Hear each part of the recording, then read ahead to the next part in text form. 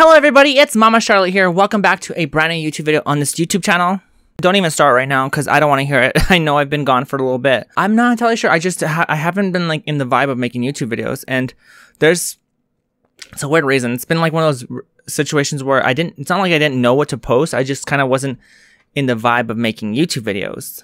So first off, I have a lot of like stuff to talk about in this video, but I do have a main topic I do want to talk to you guys about uh, and it's a lot more serious than anything else that I was going to talk about in this video. Other things are just kind of like little updates. Um, first off, I do want to say thank you guys for the feedback on Nikita, the Nikita Dragun video.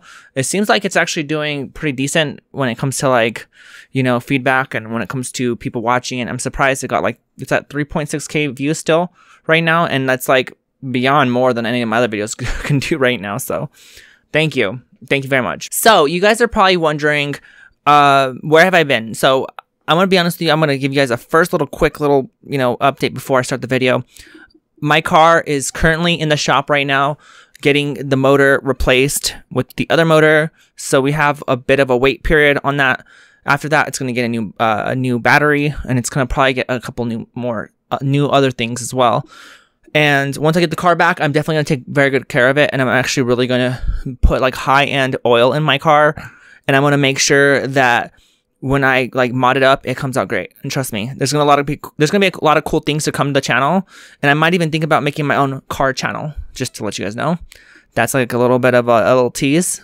I might be making a car channel. So, but into this video, I do want to. I don't want to like take up too much of the intro. I do want to talk about this. Uh, this uh, uh, um, the situation. Okay, so I did comment on an Instagram post uh, a while back, and it was Jazz Jennings post. If you guys don't know, uh, Jazz Jennings is a transgender woman and she's really gorgeous and she is just all around an amazing human being. I started watching Jazz around the beginning of my transition and I was just watching a lot of her story. You know, obviously she came out when she was a little girl, which I, in my opinion, I wish I could have. I really wish I would have known. But my dysphoria as a child wasn't ex- exactly as strong as hers was. Mine was more so like a mentality, more so than like I'm. Oh, I see these boys here, and I don't. I'm not like them. You know, that's that's totally not me. That or maybe I just never like really like you know stood upon anything like that. Maybe I didn't like take like control of myself and understanding of who I am back when I was a kid because I was moved around so much. That might be a thing. Um, but Jazz Jennings recently posted on Instagram about her book being banned all across the country at schools, and it blows my mind. I was assigned male at birth. At age two, I expressed I knew I was a girl. At age five, I began my social transition. And today, despite living my life as a proud trans woman, my children's book, I Am Jazz, is banned all over the country. Legislators banned the book out of fear that it will recruit or brainwash kids into being LGBTQ+. It does not. The book is about identity and it helps so many transgender youth learn about their personal self-identity and who they are. And it helps families better support their transgender child and friends better support their transgender friend. LGBTQ plus people belong. Allowing us to share our stories creates a more inclusive and welcoming world for all people. I'm so pissed. I'm so pissed and mad because Jazz Jennings is such a great woman. She has done nothing wrong. There are people out there that are so horrible. Horrible. You know? And it seems like people like Jazz get like punished all the time because they're just trying to make a difference in other kids' lives. And it's not about having kids come out as trans more so as it is having people understand their people are different. That's why I enjoyed about, you know, Jazz Jennings is that she just wanted to be like every other woman or every little girl when she was little. And I completely, completely get it, you know, as a trans woman. I never got to experience life as a trans girl. I was only able to experience life as a trans woman because I came out when I was 21 Jazz came out when she was like three. And in my eyes, because of that, it's a big deal. You know what I mean? She was on TV and all that stuff. She, their, her family was so, and you could tell that her family was very insecure about her being trans for a while, her grandma especially. But they all came around to understanding Jazz and, and getting her, you know? So That's one thing I've always liked about Jazz Jennings is that you could just tell her parents weren't trying to get her to transition when she was younger. You could tell everyone had issues with it at first and they all got over it and they all accept it and love her for who she is. And that's the thing about Jazz. She has overcome a lot of snap, guys. She's been through multiple, multiple debacles with people that don't agree with her, either whether it's on a live stream or if it's at a, you know, like a literally a conference of her just talking in front of a, of a crowd of people. I've seen this, you know, throughout my time on, you know, watching YouTube and watching transitional YouTubers. Jazz Jennings has always been one of the most influential trans women, in my opinion, that's ever graced this earth. And she's gone through a lot. I haven't watched a lot of, I used to watch a lot of I Am Jazz. Unfortunately, I don't really have TV, so I don't really watch it unless I buy it and I bought it in like a couple of seasons, but I haven't been watching her recently, and I really do want to watch it because she, her, her I Am Jazz show was really cool to watch. To be honest with you, it's really awesome to you know, stick around for her to see what her life's about. You know, obviously when it comes to like shows and stuff like that, you know, some of them are not authentic exactly, like meet the the Kardashians and stuff like that. They're not exactly authentic, but you know, Jazz Jennings, they, they did say that her show was authentic. Um, obviously, we all know Jennings is not Jazz's last name officially. I don't know what it is, and even if I did, I wouldn't say it. So, Jazz Jennings and her family have been like put, uh, posting more more stuff. I I actually follow Jazz's brothers on uh, Instagram. Both of them, I think they're really funny and they're really cool. And I think their family is legitimately goals when it comes to families. They are goals Jazz, you what you're going through right now, girl, this is this is not gonna last forever. You know what I mean? It really blows my mind that there are some people that get really butthurt over one book. A book help is this book is to help navigate someone that's going through what Jazz is going through. It's not about getting someone to be like Jazz. It's like it's about getting someone that's like her to understand and to be comfortable with herself and understand that there, there's nothing wrong with being different. It's like a book coming out about a paraplegic life and accept yourself that you don't have a leg, you know, or accept yourself that you can't walk, or accept yourself because you're missing an arm. It's about navigation. It's not about other kids wanting to be paraplegic. Same thing with the, the, the trans stuff. It's not about persuading someone to be trans. It's about someone that's trans to be understanded. Uh, under, understand it. That's horrible. Understood. I, uh, you know, I, I read a little bit. I read her book. It, it's a little children's book, guys. it's nothing. It's not like a chapter book. It's not here to tell you like the ins and out of being trans. It's, it's very basic. It's a cute book. I mean, the, uh, the little art that, that, that she has in that book is kind of cute. I'm not gonna lie. I don't know if she created the art herself or it was just another illustra- uh, illustrator. Uh, but they, whoever did the illustration in that book, bravo. I love the, it's so cute. In my opinion, it's the cutest book. And it's not because I'm trans that I'm saying this. It's cute because it's coming from someone that had grown up being trans and understanding herself at a young age that she was able to throw that up towards people. Because people like me i couldn't make a book about that. I couldn't do it because i never got to experience life as a trans girl.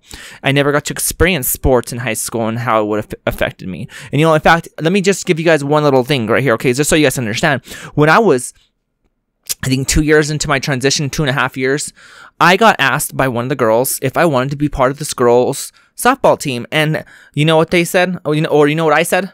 I don't know if I would be accepted. It was my hometown.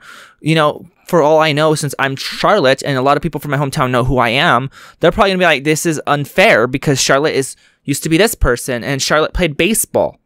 You know, the, uh, in my opinion, I, am pretty sure I wouldn't be as good. You know, I'm gonna honest with you. If you were to throw me in high school and say play the women's sports, uh, those women, every bit of the women would probably be way better than I am. Trust me. A lot of people think that just because a trans woman or a trans girl used to be a guy, that they're gonna be automatically better than a woman. That is sexist in a half, in my opinion. And any woman who feels that way, that that um oh well of course they're gonna be this of course they're gonna get number one they're they're dudes you know what i mean not every single trans woman was a bulky ass dude at one point. You know what I mean? There are people like me that had like the lowest of the lowest totem poles when it came to guys. So when it comes to girls, I'm pretty sure there's a lot of girls like uh, like natural born girls that would fucking kick my ass in sports. And I mean, I'm I know I'm just like kind of drifting off to if like a uh, I know I'm just kind of drifting off into like a whole different subject, but this is kind of stuff that like Jazz had to go through when she was younger. She had to go through this ex- uh, um unacceptance of sport of being able to play with the girls in sports uh, in the soccer team uh, having to use the restroom at the nurse's office rather than the actual you know bathrooms god knows what i what i would have had to do if i came out when i was younger see i, I wouldn't have known but then at the same time would i have been as strong-hearted as i am now i don't know all I know is that now I'm a little more stronger for myself that I could hold myself up. I don't know how I would have been when I was younger. Maybe I would have been a lot more um it would have been harder for me to come out because whatever. But Jazz Jennings, what's so bad about this book? There's nothing. In this book, it doesn't teach people how to be trans. It teaches trans people how to be happy.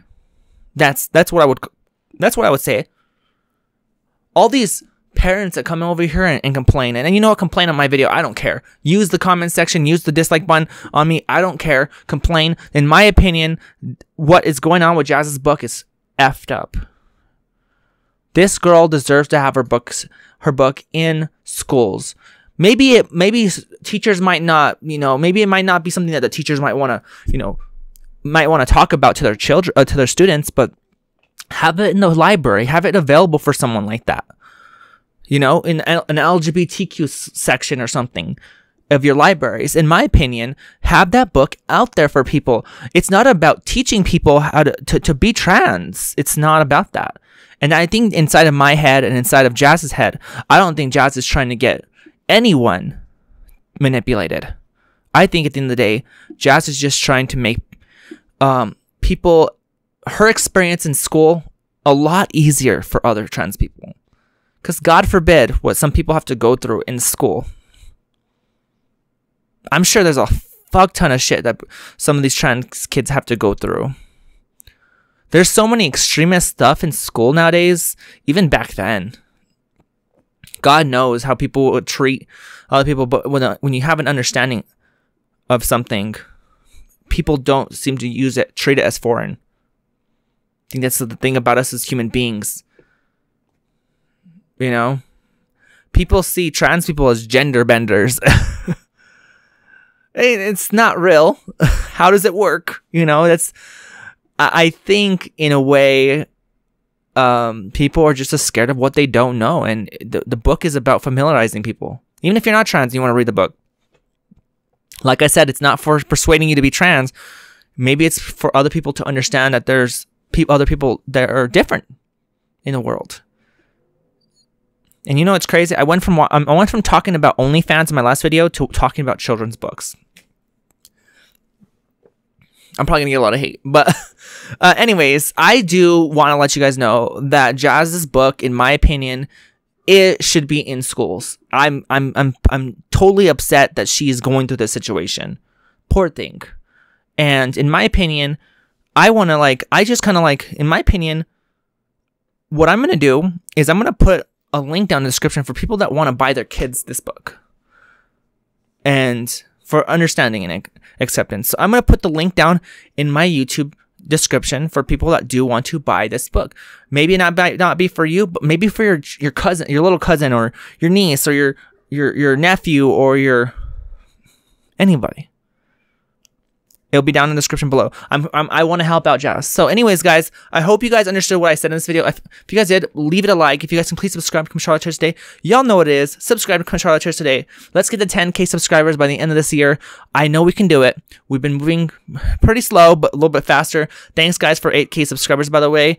And thank you guys for just being there for me while I've been on this hiatus in a way.